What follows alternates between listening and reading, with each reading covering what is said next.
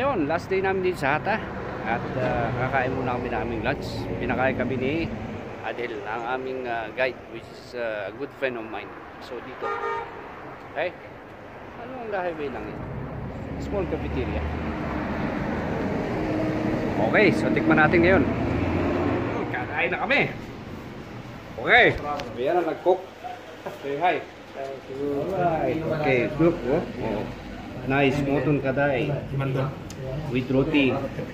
Si Bandol. Again. Sarap. okay, the same. Oh, moton kaday. Roti. Wow, nice. Oh. Si Mark. At saka si Ram. A good friend of mine, Mr. Adil. Alright, alright, alright. Yeah, okay. We will eat now. Alright. Buen appetit.